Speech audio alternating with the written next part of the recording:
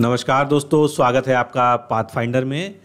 तो general science के अंतर्गत केमिस्ट्री हम लोग पढ़ रहे थे, जिसमें आज ये आठवां लेक्चर है। सात लेक्चर पहले अपलोड हो चुके हैं, जिसमें पूरा जो है एटॉमिक एटॉमिक स्ट्रक्चर वाला पूरा जो है तीन चार वीडियो और उसके बाद जो है ऑर्गेनिक केमिस्ट्री इनऑर्गेनिक केमिस्ट्री का, जिसमें हम लोगों ने मेटल नॉन मेटल यानी धातुएँ और अधातुएँ, उनके गुण, उनके जो है जितने भी कंपाउंड्स होते हैं यौगिक उनसे संबंधित जितने भी परीक्षा उपयोगी तथ्य हैं वो पढ़े। तो आप कोई भी एग्ज़ाम फेस करने जा रहे हो भविष्य में साइंस उसमें सबसे बड़ा रो, रोल प्ले करती है चाहे वो यूपी पीसीएस हो चाहे वो यूपी ट्रिपल एस सी हो। इन अगर रेलवे और ग्रुप डी का भी आपको एग्ज़ाम देने जा रहे हैं तो साइंस उसमें अच्छी खासी आती है। इसलिए साइंस पे बिल्कुल फोकस करके चलिए। और केमिस्ट्री के सारे लेक्चर्स जो सात लेक्चर इसके पहले हैं वो देख लीजिए। कार्बनिक रसायन जो आज मैं शुरू कर रहा हूँ, इसको दो लेक्चर्स में, यानी आज का लेक्चर्स और इसके बाद एक और लेक्चर इसमें ख़त्म कर दूँगा। इसके बाद केमिस्ट्री जो है, कुछ दिन के लिए जो है बाइंड अप हो जाएगी और उसके बाद हम फिजिक्स स्टार्ट करेंगे। क्योंकि केमिस्ट्री वैसे तो कहें केमिस्ट्री का कोई अंत नहीं है। केमिस्ट्री बहुत डिटेल में बहुत ज़्यादा पढ़ाई जाती है। जैसे अगर कार्बनिक रसायन की ही बात करें हम तो अगर हम कार्बनिक रसायन और स्ट्रक्चर और एल्डिहाइड, कार्बोनिक एसिड और सबके उसमें डीप डीप में जाएँगे। तो जो लोग केमिस्ट्री बैकग्राउंड के नहीं हैं, वो उन चीज़ों को उतना अच्छे से समझ भी नहीं पाएँगे। और मुझे जो लगता है कि जो परीक्षा की आवश्यकता होती है, उससे ज़्यादा हमको पढ़ने की भी ज़रूरत नहीं है, क्योंकि अब जो है माइनस मार्किंग का एग्ज़ाम है तो हमको टारगेटेड बिल्कुल जो है पढ़ाई करनी चाहिए कि हमको क्या पढ़ना है, जो जो मोस्ट इंपॉर्टेंट है, उनको पढ़ना है, उनको अच्छे से पढ़ना है। तो चलिए आज का हम लेक्चर स्टार्ट करते हैं। सबसे पहला जो है, जो फैक्ट है इसमें, वो ये है कि कार्बनिक जीवन शक्ति का जो सिद्धांत था, उसका प्रतिपादन किस साइंटिस्ट द्वारा किया गया? तो बर्जीलियस नामक एक जो है केमिस्ट केमिस्ट थे, उनके द्वारा जीवन शक्ति के सिद्धांत का प्रतिपादन किया गया। यूरिया प्रयोगशाला में संश्लेषित किया गया सबसे पहला कार्बनिक यौगिक था। यानी सबसे पहला ऑर्गेनिक यौगिक जो है, ऑर्गेनिक कंपाउंड कौन था? यूरिया था, जिसका प्रयोगशाला में संश्लेषण किया गया। यानी कृत्रिम रूप से प्रयोगशाला में ये बनाया गया फिर कार्बनिक यौगिकों में कार्बन परमाणु की चारों संयोजकताएँ। एक सम चतुष्फलक के चार, चारों किनारों की ओर दिष्ट होती हैं। वो कुछ इस तरह का स्ट्रक्चर होता है। सम चतुष्फलक यानी इसके चारों जो है वो फल बनान और कार्बन की आप जानते हैं, संयोजकता कितनी होती है? चार होती है। यह सिद्धांत सर्वप्रथम लीबेट एंड वॉटहॉम्फ ने दिया था। सेलुलोज प्रकृति में सबसे ज़्यादा अधिक मात्रा में पाया जाने वाला कार्बनिक यौगिक है। क्यों? क्योंकि जो पौधों की सेलवाल होती है, पौधों में जितनी भी कोशिकाएँ होती हैं, उनकी सेलवाल में सेलुलोज पाया जाता है। ये उसका एक्सक्लूसिव फीचर है। इस वजह से अगर प्रकृति में बात करें तो सबसे ज़्यादा सेलुलोज पाया जाने वाला कार्बनिक एसिड, कार्बनिक यौगिक है। कार्बन तत्व तो सभी कार्बनिक यौगिकों में मिलता है क्योंकि जिनमें कार्बन होता है उनको कार्बनिक यौगिक तभी कहते ही है कपूर को ऊर्ध्वपातन या सबमिलेशन विधि द्वारा शुद्ध किया जाता है। ऊर्ध्वपातन क्या है? कपूर है नमक है और कुछ और कंपाउंड है। कार, कार्बनिक कंपाउंड हैं जिनको हम अगर सीधे हवा के संपर्क में छोड़ देते हैं तो वो जो है वाष्प बनकर जो है ऊपर की ओर उड़ने लगते हैं और उनकी मात्रा जो है विघटित होने लगती है। तो इस सबमिलेशन या ऊर्ध्वपातन की विधि से हम जो है कपूर को शुद्ध कर सकते हैं। एनलिन जो होता है, जिसका फार्मूला है C six H five N H two इसके शुद्धिकरण के लिए भाप श्रावण विधि। भाप श्रावण विधि का उपयोग होता है। मेथनॉल का रासायनिक नाम क्या है? C S three O H ये सब खूब पूछा जाता है। मेथनॉल इथेनॉल फिर ethylene C two H four का आई यू पी एस ये नाम क्या है? इथीन है। मतलब इथिलीन भी कहते हैं, इथीन भी कहते हैं। आप कार्बनिक यौगिक, ये जितने भी यहाँ लिखे हैं, इसको आपको रट लेना है हर हालत में, इन्हीं से क्वेश्चन आते हैं। Methyl alcohol C S three O S जिसको मेथनॉल भी कहते हैं। फिर ethylene C two H four जिसको इथीन कहते हैं। Acetylene C two H two ethyne इसको कहते हैं। Ethyl alcohol C two H six O six chloroform C S three C L three C H C L three इसको trichloromethane कहते हैं I U P S system में normal इसका common नाम chloroform है। फिर chloral carbon car chloral C two H three C L three O ये trichloroethanol है। और कार्बोलिक एसिड जो है, क्या होता है? C two H five O यानी जिसको हम फिनॉल कहते हैं I P S C name में। तो मिथिन, मिथाइल एल्कोहल से लेके कार्बोनिक एसिड तक ये जितने भी छः सात फार्मूले हैं, इसको इसी तरह से आप याद कर लीजिए, इनके आई नाम याद कर लीजिए, इनसे बार बार क्वेश्चन आते हैं। फिनॉल एक एरोमेटिक यौगिक है। एरोमेटिक का अर्थ आप अगर नहीं जानते तो समझ लीजिए, ये सुगंध देने वाले, सुगंध देने वाले जितने भी कंपाउंड होते हैं, हम उनको एरोमेटिक यौगिक कहते हैं। ये तो इसकी फ़िज़िकल प्रॉपर्टी की बात हो गई। उसके अलावा केमिकल लेवल पे इसका अलग सिस्टम होता है, जिसको बहुत ज़्यादा डिस्कस करने की ज़रूरत नहीं है। कार्बनिक यौगिकों को रासायनिक गुण प्रदान करने वाला समूह क्या है? क्रियाशील समूह कहलाता है। Methyl alcohol C S three O H का समजात कार्बनिक यौगिक क्या है? इथाइल एल्कोहल तो समजात का मतलब जिनमें जो है एक जैसे जो है इनकी संरचना हो, या जिससे जिसमें जो थोड़ी सी चेंजेस करने पर एक दूसरे में कन्वर्जन हो जाता है, उनको समझात कहते हैं। तो C S three O H जो है, जो मिथाइल एल्कोहल है, इसको इथाइल एल्कोहल में चेंज किया जा सकता है। ये समझात कार्बनिक यौगिक है। संतृप्त हाइड्रोकार्बन यानी सेचुरेटेड हाइड्रोकार्बन का सामान्य सूत्र क्या होता है?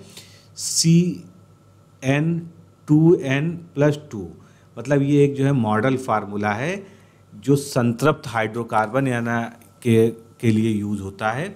किसी ठोस पदार्थ के बिना द्रव में बदले, सीधे वाष्प में बदलना जो है ऊर्ध्वपातन कहलाता है।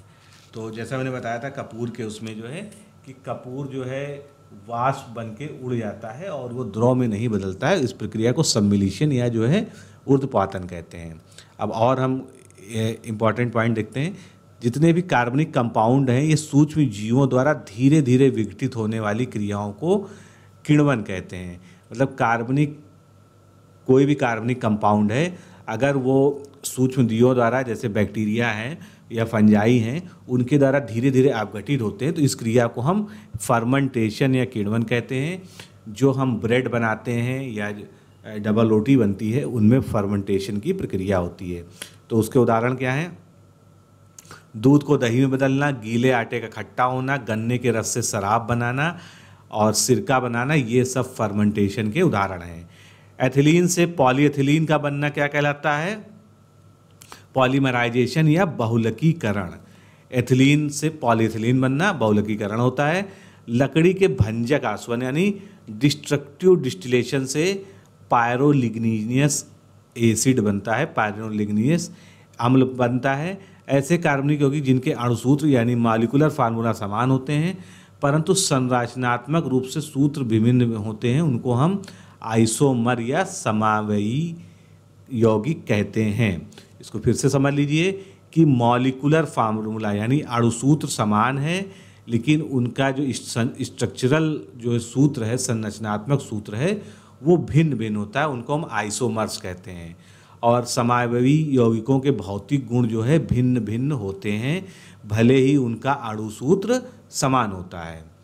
पेट्रोल क्या है? पेट्रोलियम जो है या पेट्रोल जो है कई सारे हाइड्रोकार्बन्स का मिश्रण है, जो कहाँ से निकलता? फॉसिल फ्यूल इसीलिए इसको फॉसिल फ्यूल कहते हैं, कि जो फॉसिल्स होते हैं, उस, उससे जो है हाइड्रोकार्बन्स जो मिलते हैं, और उसका शुद्धिकरण करने पर पेट्रोलियम मिलते हैं। तो पेट्रोलियम के जो विभिन्न अवयव होते हैं, जैसे अगर हम पेट्रोलियम की बात करें तो ये ब्रॉड टर्म है। पेट्रोलियम में क्या क्या होता है? पेट्रोल होता है डीजल होता है, और ग्लिसरीन होता है। तो ये सब जो है, ये पेट्रोल से ही प्राप्त होने वाली सॉरी, ग्लिसरीन नहीं, वैसलीन। वैसलीन होता है तो ये सब जो है पेट्रोल से प्राप्त करने वाली प्राप्त होने वाली ही चीज़ें हैं। तो इनको अलग अलग कैसे किया जाता है? अलग अलग करने के लिए जो है, प्रभाजी आसवन विधि या फ्रैक्शनल डिस्टिलेशन मेथड का यूज़ करते हैं। कई बार ये क्वेश्चन पूछा जा चुका है। जब पेट्रोलियम पदार्थ को गर्म किया जाता है तो सर्वाधिक मात्रा में निकलने वाली वाष्प क्या होती है? पेट्रोलियम ईथर होती है। पेट्रोल को द्रव सोना भी कहते हैं, क्योंकि इसकी कीमत बहुत ज़्यादा होती है। इसके कारण बड़े बड़े जो है युद्ध हो चुके हैं, लिक्विड गोल्ड भी कहते हैं। पेट्रोक्राफ्स क्या होते हैं? ऐसे जो में मुख्यतः हाइड्रोकार्बन्स और लिपिड्स पाए जाते हैं। मतलब कुछ ऐसे पौधे होते हैं जिनको हम बायोडीजल क्रॉप्स कहते हैं या पेट्रो क्रॉप्स कहते हैं, जो भी कह लीजिए। उनमें हाइड्रोकार्बन्स और लिपिड्स पाए जाते हैं। जैसे कि यूफोरबिएसी कुल के, कुल कुल के कुछ पौधों में लेक्टस में उपस्थित पेट्रोलियम उत्पाद जो कम अणुभार वाले हाइड्रोकार्बन के जलीय भंजन से प्राप्त किया जा सकता है। तो यूफोरबिएसी कुल में कुछ पौधों में ऐसा होता है। मिट्टी का तेल जो है केरोसिन, आयल का संगठन सी एलेवन सी सिक्सटीन होता है। पेट्रोलियम से ही जो है केरोसिन, आयल भी प्राप्त होता है। गैसोहॉल क्या है? ये भी जो है पेट्रोलियम संबंधित ही है, जो मोटर गाड़ियों में ईंधन के रूप में प्रयुक्त होता है। वह पेट्रोल व एल्कोहल का मिश्रण होता है। तो ये किस, क्या मिश्रण होता है? पेट्रोल इसमें नौ भाग होता है और एल्कोहल एक भाग होता है, यानी नाइन इज़ टू वन होता है। और उसको क्या कहते हैं? इथेनॉल एंड अल अनलीडेड गैसोलीन। तो ये गैसोहॉल होता है। भारी वाहनों में डीजल का प्रयोग उच्च क्षमता और आर्थिक बचत के लिए किया जाता है। डीजल को जो है पेट्रोल से ज़्यादा जो है उच्च क्षमता और आर्थिक बचत के लिए, क्योंकि डीजल सस्ता होता है और इससे जो है, इसका जो इंजन अलग होता है, इससे जो है ज़्यादा लंबी दूरी जो गाड़ियाँ जाती हैं, जैसे ट्रक है, बस है, इन सब में जो है डीजल का ज़्यादा प्रयोग होता है। पेट्रोल की गुणवत्ता जो है ऑक्टेन संख्या या ऑक्टेन नंबर के रूप में प्रदर्शित की जाती है। जो जितना अच्छा पेट्रोल होगा, उसमें ऑक्टेन नंबर का मान उतना ज़्यादा होगा। पेट्रोल का स्पट स्फोटक रोधी गुणवत्ता बढ़ाने के लिए टेट्रा एथिल लेड का प्रयोग किया जाता है। यानी पेट्रोल में जो है जो स्फोटक रोधी गुण होता है, उसको बढ़ाने के लिए टेट्रा एथाइल लेड का प्रयोग किया जाता है। विमानन या एविएशन सेक्टर में गैसोलीन में ग्लाइकॉल मिला दिया जाता है, जो गैसोलीन की हमने यहाँ बात की थी। तो गैसोलीन में ग्लाइकॉल मिला दिया जाता है जिससे ये क्या कहता है, पेट्रोल के रिफ्रिजरेशन को रोकता है। मतलब ज़्यादा ऊंचाई पे अगर कोई विमान उड़ रहा है और वहाँ पर ज़्यादा ठंडी की वजह से क्या है, ये भी खतरा हो सकता है कि पेट्रोल जम जाए। तो पेट्रोल को जमने से या रेफ्रिजरेशन से रोकने के लिए उसमें गैसोलीन के साथ ग्लाइकॉल मिला दिया जाता है। पेट्रोलियम से प्राप्त होने वाली मैम, मोम क्या है? पैराफिन मोम होती है। स्पर्मेटी मोम जो है, ये पैराफिन मोम नहीं होती है, ना ही पेट्रोलियम से होती है। ये स्पर्म के वेल, यानी स्पर्म का जो शुक्राणु होते हैं उस, उससे जो है ये प्राप्त होती है। व्यापारिक वैसलीन, जिसका मैंने पीछे ज़िक्र किया था कि वैसलीन जो है पेट्रोलियम से निकाला जाता है। अब मीथेन की बात करते हैं। मीथेन सी एच फोर के सभी एलिफैटिक यौगिकों का जन्मदाता माना जाता है। मतलब जितने भी एलिफैटिक यौगिक हैं, उन, उनका जो है बेस क्या है? मीथेन है। मीथेन अणु की आकृति जो है सम चतुष्फलकी होती है, जो मैंने बताया, जैसे कार्बन के अणु होते हैं। इसमें कार्बन और हाइड्रोजन के बीच बंधन कोण जो है 109 डिग्री 28 मिनट होता है। इसको बिल्कुल याद कर लीजिएगा, कई बार क्वेश्चन पूछा जा चुका है। कार्बन और हाइड्रोजन के बीच बंधन कोण 109 डिग्री 28 मिनट होता है। मीथेन को मार्स गैस भी कहते हैं, क्योंकि यह दलदली स्थानों पर पाया जाता है। यह संतृप्त हाइड्रोक्रापन श्रेणी का पहला सदस्य होता है। सेप्टिक टैंक जो होता है, जो सेप्टिक टैंक बनाए जाते हैं टॉयलेट्स वगैरह के लिए तो सेप्टिक टैंक से निकलने वाली गैसों के मिश्रण में मुख्यतः मीथेन होती है। गोबर गैस, प्राकृतिक गैस, बायोगैस का भी मुख्य घटक क्या होता है? मीथेन गैस होता है।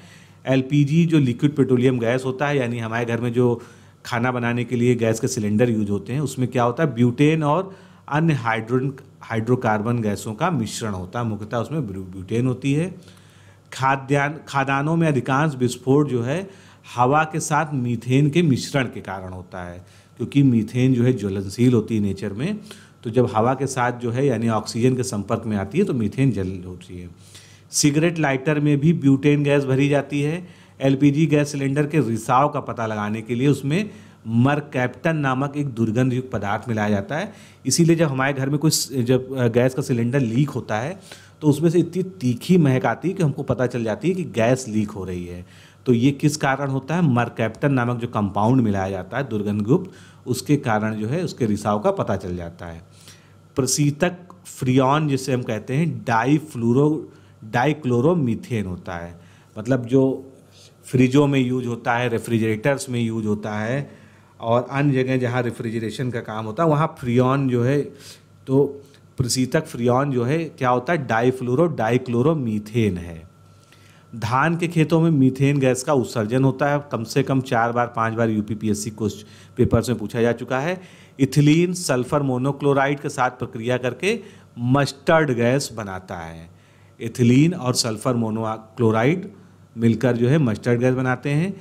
जिसका फुल फार्मूला क्या है? C four H eight C L two S calcium carbide पर जल की प्रतिक्रिया द्वारा एसिटिलीन गैस प्राप्त होती है। एसिटिलीन का formula C two H two होता है। एसिटिलीन का कई उपयोग होते हैं, जिसको मैंने बताया था। सबसे बड़ा उपयोग इसका गैस वेल्डिंग में किया जाता है। फिर दूसरा उपयोग फल पकाने में होता है कृत्रिम रूप से। और नॉर्सी, नॉर्सिलेन नामक जो है, जो एनेस्थेटिक एनेस्थीसिया होता है या निश्चेतक होता है, वो भी इस एसिटिलीन का ही बना हुआ होता है। फिर युद्ध में प्रयोग की जाने वाली विषे विषैली गैस जो होती है पॉइजनस गैस वो कौन सी होती है? ल्यूसाइट जिसका नाम है वो भी एसिटिलीन ही होती है। तो एसिटिलीन के कई सारे प्रयोग हो जाते हैं। फिर वेस्ट्रॉन का रासायनिक नाम एसिटिलीन टेट्राक्लोराइड होता है। क्लोरोफ्लोरोकार्बन जिसको सीएफसी कहते हैं जो आ, ग्रीन हाउस गैसेज या सीधे सीधे हम कह लें कि जो है ओजोन क्षरण के लिए जिम्मेदार होती है तो सीएफसी का प्रयोग रेफ्रिजरेटरों में किया जाता है प्रशीतक के रूप में। फ्रियन जिसकी बात हमने की थी डाइक्लोरो डाइफ्लोरोमीथेन ये प्रसिद्ध प्रशीतक है रेफ्रिजरेंट है और घरेलू प्रशीतन में इसका उपयोग होता है।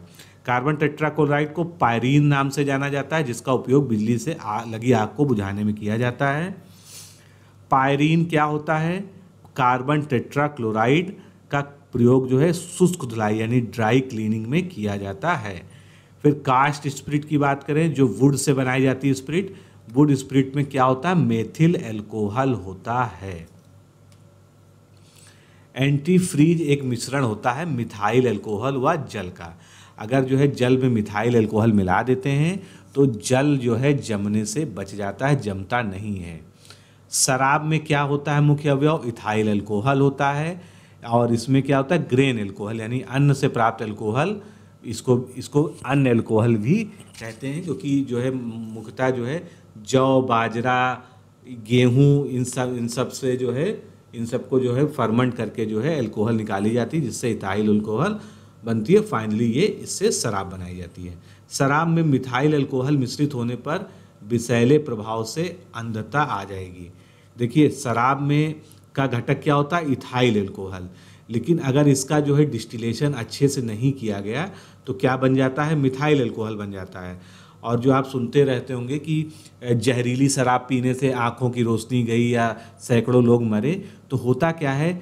जब डिस्टिलेशन में कोई कमी छोड़ दी जाती है शराब बनाने में तो इथाइल एल्कोहल, मिथाइल एल्कोहल में चेंज हो जाता है और यही मिथाइल एल्कोहल जो विषैले प्रभाव पैदा करता है, जिससे मृत्यु तक हो जाती है और ब्लाइंडनेस जो है इसका कॉमन जो है इफ़ेक्ट होता है।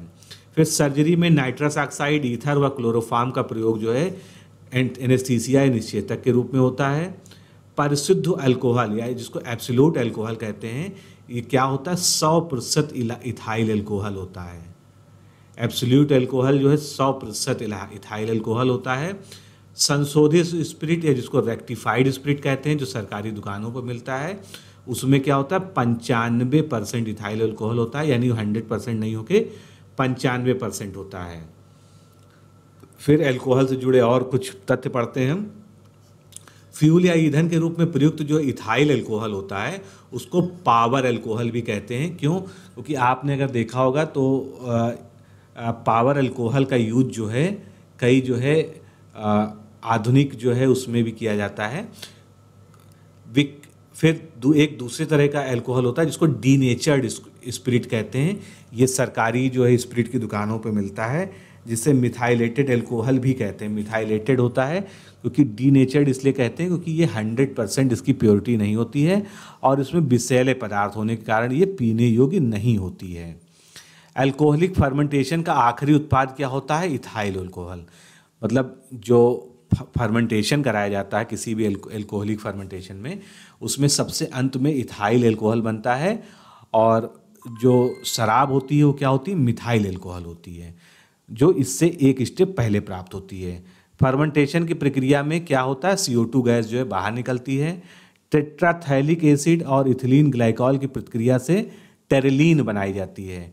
टेट्राथैलिक एसिड और इथिलीन ग्लाइकॉल की प्रतिक्रिया से टेरिलीन बनाई जाती है, जो कपड़ा उद्योग में प्रयुक्त होता है।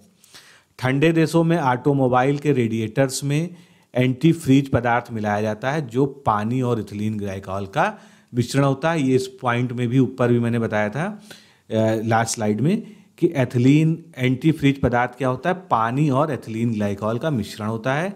फॉर्मेल्डिहाइड का 40 परसेंट जलीय गोल जो है, क्या कहलाता है? फॉर्मेलिन कहलाता है।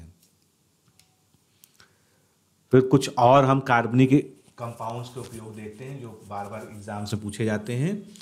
मूत्र रोगों में प्रयुक्त यूरोट्रोपिन इसका फार्मूला क्या होता है? हेक्सा मिथाइलिन टेट्राइमीन फॉर्मेल डिहाइड से बनाया जाता है। कास्ट यानी लकड़ी के प्रभाजी आसवन से, यानी प्रभाजी आसवन क्या कहते हैं? डिस्ट्रक्टिव डिस्टिलेशन से प्राप्त जो है पायरनोलिग्निक एसिड, अम्ल में 10 परसेंट एस्टिक एसिड होता है। इसके अतिरिक्त इसमें एसीटोन व मिथाइल अल्कोहल भी पाया जाता है।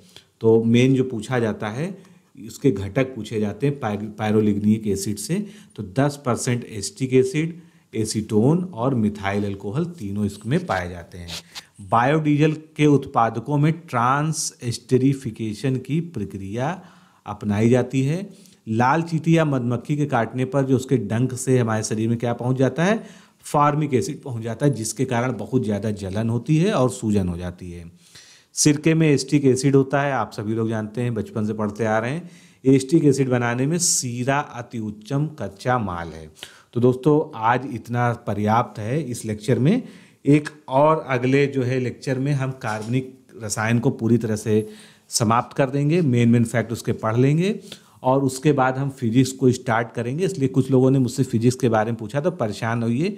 दो दिनों के अंदर फिजिक्स जो है स्टार्ट हो जाएगी और उसके बाद केमिस्ट्री में हम क्या करेंगे? बीच बीच में जो केमिस्ट्री में इंपॉर्टेंट क्वेश्चन है, वो भी डिस्कस करते रहेंगे।